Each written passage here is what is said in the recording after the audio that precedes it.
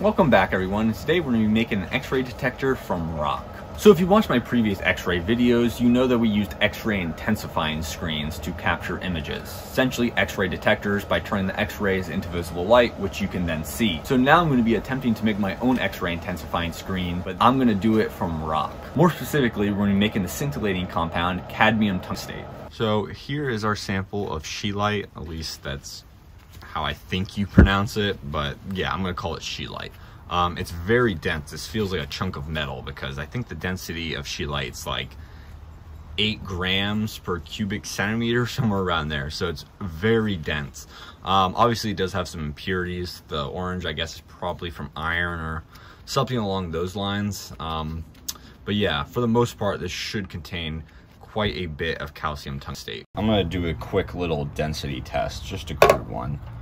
Okay, so our sample is 39 grams. Okay, so now we're up to 30 milliliters of water and let me add it in. Okay, that went up about five milliliters. So roughly about 40 grams divided by five is eight. So this is, yep, this should be our calcium tongue tungstate. So they didn't lie to me on the uh, listing. Okay, so I'm first gonna place a beaker in a hot plate. Well, center that, get, you know, better camera footage. My angles aren't the best. And we'll add that in there. Okay, now we're gonna add hydrochloric acid. And this should react with it to form tungstenic acid, which will be insoluble and resulting in calcium chloride, which will be soluble. And now it's very yellow. There's a lot of tungstenic acid forming. That's good, that's good, but it's not not flaking off the rock, which again kind of uh, scares me a little bit because it might kind of passivate it. And this may take forever to react, but we will see. Okay, simply waiting for this to dissolve is going to take way too long. I'm gonna have to powderize it. So I'm just gonna add it to my mortar and pestle and break it up into a nice fine powder.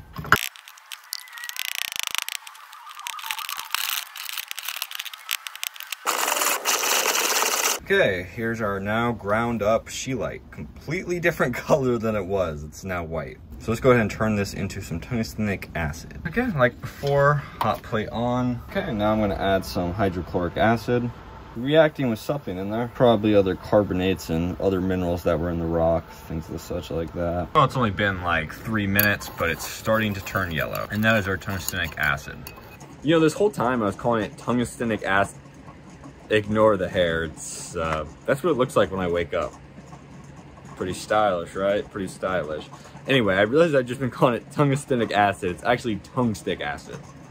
Yeah, I'm dyslexic. Okay, here's our solution after boiling down. Nothing really interesting happened. It, you know, is yellow as well. Tungstic acid is uh, yellow. So that's good news. Um, you can see down in there, there is kind of more of an orange substance. I think that's kind of partially reacted um, calcium tungstate. So yeah, I'm gonna go ahead and react this with base to form water-soluble sodium tungstate. And then we can go ahead and further react the rest of this because um, I think we didn't grind it up as good enough and there is some unreacted stuff. Okay, so yeah, nothing really. Now to make a sodium hydroxide solution, I'm gonna go ahead and add some, I think there was some hydrochloric acid in this beaker. And we're just gonna go ahead and dissolve this up into a nice concentrated solution. Okay, now that the sodium hydroxide is dissolved up, let's go ahead and slowly add it to our tungstic acid solution. Okay, nothing's too interesting has happened yet. Let's go ahead and add a bit more. And it is reacting, yep, because it just turned white. Okay, now I'm just gonna add this to a hot plate to get it to fully react. The white precipitate you see is actually calcium hydroxide. I should have filtered the solution beforehand, but when we reacted the calcium tungstate with the hydrochloric acid that formed calcium chloride. Then addition of the hydroxide is going to precipitate calcium hydroxide and form sodium chloride. Okay, I'm gonna have to be honest here for a second. I am a complete moron. No, that was not calcium hydroxide precipitating. Well, maybe a little bit, but it was calcium state reprecipitating because once it went to basic conditions, it just reprecipitated. So that is my fault for being an idiot. Um, yeah, so the way to fix that is just to filter the solution first and have no calcium ions at all. So that's what we're gonna do. I'm just gonna skip ahead all this part because you guys already know what's gonna happen, but I'm just gonna add it all to the same beaker and dissolve it again in hydrochloric acid. Then vacuum filtrate it. That's, that's an important step. Edit, gravity filtration. Okay, we should be good now. Um, I washed it multiple times. Here's the wastewater. So yeah, there shouldn't be really any calcium left in there at all. So let's go ahead and add the rest of our sodium hydroxide and see how well this goes. Okay, now that it's dissolved, there again, there's still some unreacted stuff at the bottom, so we'll have to repeat this whole process again. But I'm gonna go ahead and gravity filtrate this to collect our sodium tungstate. Okay, after way longer than I would have liked, here is our sodium tungstate solution. Okay, now I'm going to do a pH test. We're gonna wanna get this down to neutral pH because when we combine this with our cadmium later on, we don't want to precipitate cadmium hydroxide or anything like that. So the solution is still fairly basic. So I'm just going to add vinegar to it, acetic acid, and this will form acetates. And acetates won't precipitate from our solution when we add our cadmium.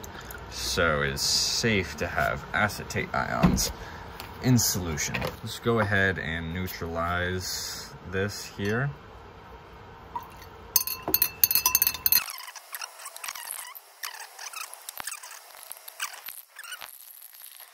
And that looks like neutral pH to me right there. No, sorry. Out of the corner, it's over here, but yeah. Okay, voiceover time. I don't know what happened to the audio for this, but anyway, here I am just cutting up some cadmium, and this will be our source of cadmium to make our cadmium tungstate. Um, the sample was actually generously donated to me by Backyard Science 2000. I'll have the link to a store down below where you can get a sample just like this one. Okay, here's our two gram chunk of cadmium.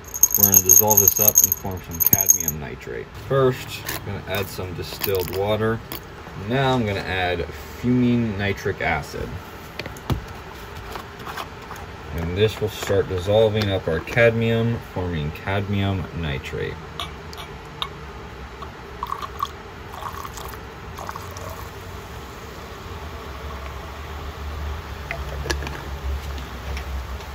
Well, not even two minutes later, it's already fully dissolved. Yeah, it was uh, that fast.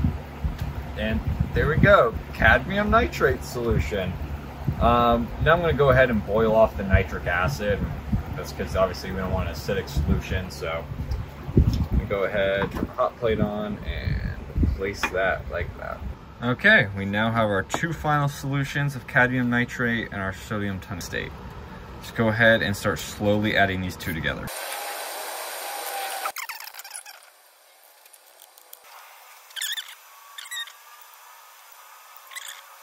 Okay, I've moved everything to a larger beaker and now we just have to set it onto a hot plate and this will cause everything to form and precipitate. Um, as you can see, it is already starting to precipitate white powder.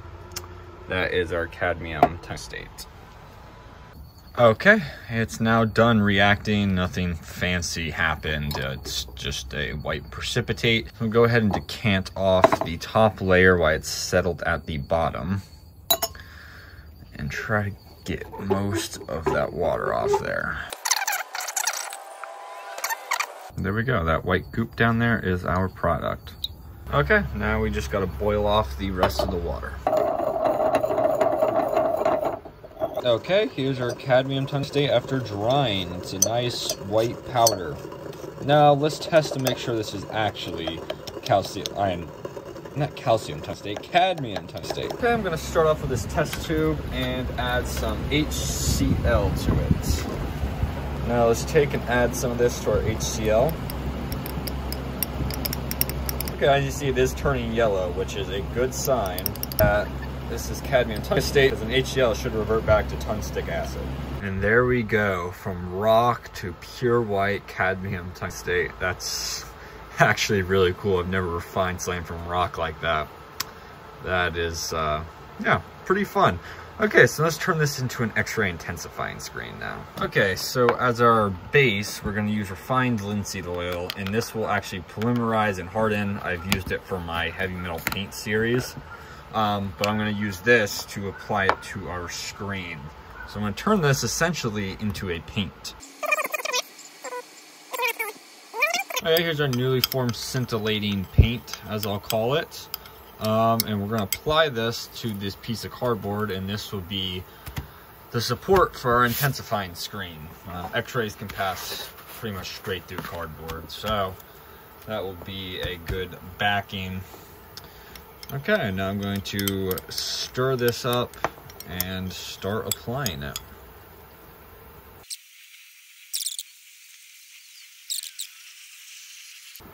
There it is, nice and shiny. Now what we gotta do is let it dry, which may take a couple days. I'll check back on it tomorrow and see how it goes. Okay, our DIY X-ray intensifying screen is done drying. Now all we gotta do is test her out. Hopefully this works. Okay, so here's our X-ray setup. If you've seen some of my previous videos, you kind of already know how this works and what it does. This is just a high voltage power supply also has filament power supplies for x-ray tube here, x-ray tubes in the housing, sealed in with oil and lead shielding. Um, yeah, here's the two high voltage outputs, two filament outputs, milliamp meter, and that's about it. Now to see our x-ray intensifying screen, we have this contraption here, which is just a box taped up with part of a garbage bag. Yeah, I'm not, you, you get the idea, you know, you get the idea about it. Anyway, so in there we'll go our x-ray intensifying screen. Um, because it does glow very dimly, we are going to do a long exposure along with, you know, take out all the excess light using this. And yeah, so x-ray beam there, x-ray intensifying screen will be right there. Camera will be in here. That's where my phone slides in. I record all my videos with my phone, so I won't be able to record the process while I'm taking the photos. But uh, yeah, so phone goes in there and yeah, it's kind of just that simple. So let's take our X-ray intensifying screen and plop it on in there. I think that will be good right there. So to start off, I'm gonna give it a fairly, you know, short standoff distance because um, the more radiation, the more light is released. So I kind of just want to see this close, how bright it is, and then we can adjust from there. But I think this should make it emit a pretty decent amount of light. Um, and obviously the x-ray beam grows in a cone, so the farther back, the more wide it'll cover the screen.